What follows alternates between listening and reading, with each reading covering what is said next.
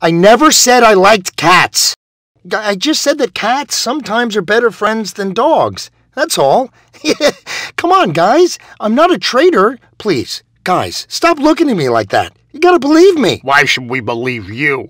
Ever since that sheepdog showed up, you've been different. Yeah, Lucky, we used to like you, but you've changed. No, I haven't. I'm the same Lucky I've always been.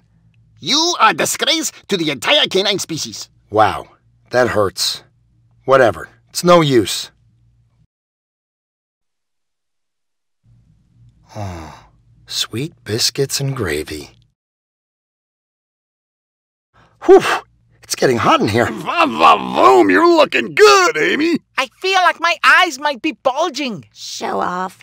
Hey, boys, what you doing? Well, Lucky here says that he likes cats, and that just isn't right.